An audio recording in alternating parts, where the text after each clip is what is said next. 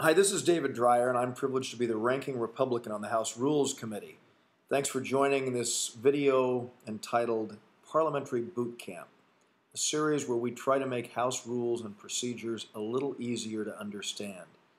It's important to note that process is substance, and having an understanding of the rules is critical to successfully implementing legislation. As I said, we've called this video The Problem with Pre-Printing, and it looks at the consideration of appropriations bills under the Democratic majority. An appropriations bill is a bill to provide funding for government programs.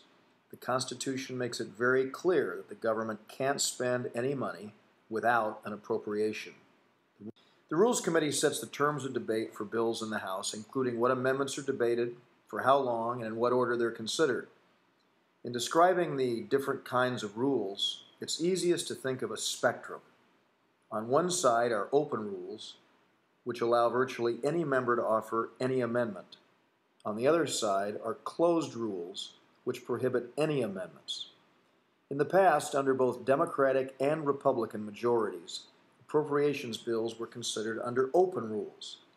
This allowed for a free-flowing debate where virtually any idea could be offered by any member as long as the amendment met the other rules of the House.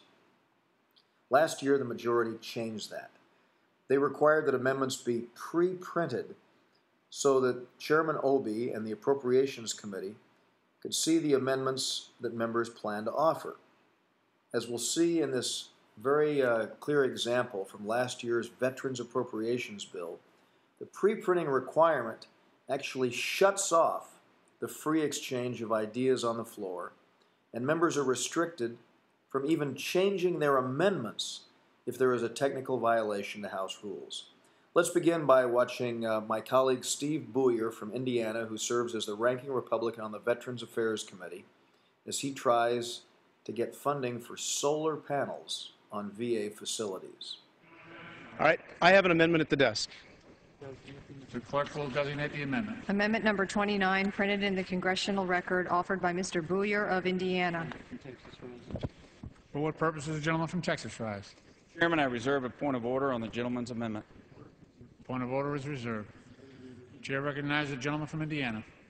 Mr. Chairman, my amendment would provide $150 million of the amount appropriated in the Department of Veterans Affairs minor construction account for the installation of solar electronic roof applications. In this next clip, Mr. Buyer tries to fix his amendment to avoid the point of order. If this were an open rule, he could just offer a slightly different amendment.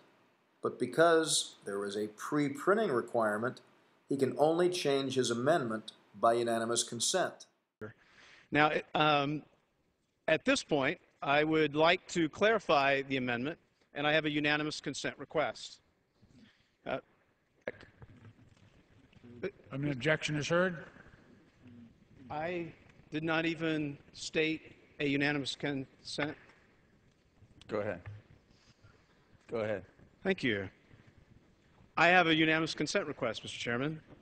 I would uh, ask that at the end of my amendment, after the word applications, insert the following, quote, at VA medical facilities, end quote.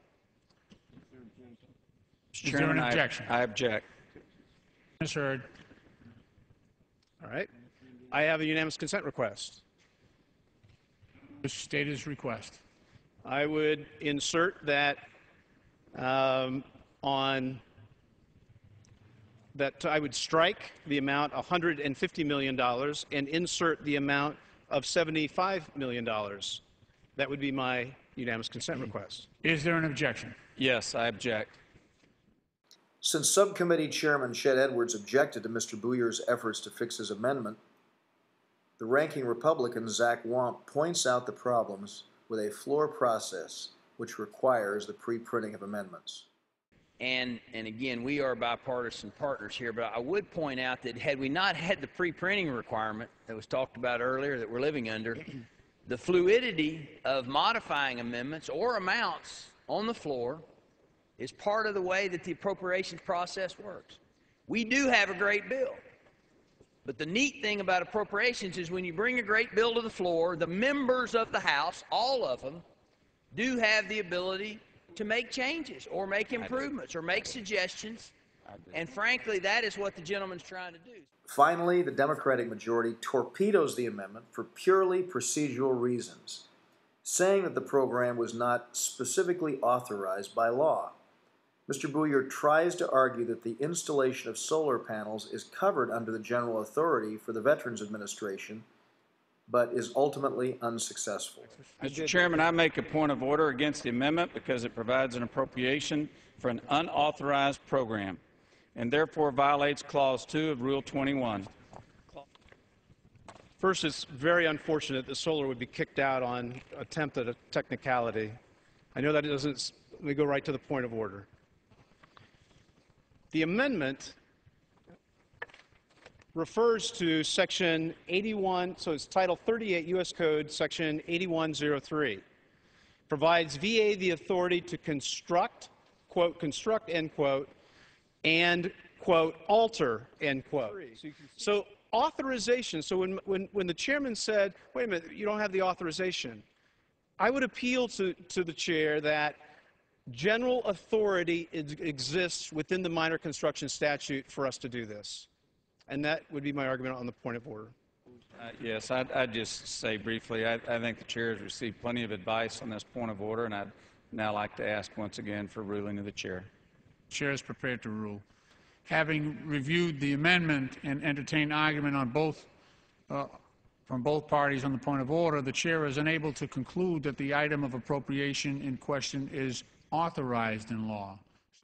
So we see that the majority is trying to say that their floor process will allow any amendment, but they're actually using the rules to block out common sense amendments that would be permissible under a more open process. So while the majority calls rules with pre-printing requirements open, we see that they are actually anything but that. I hope you enjoyed this presentation.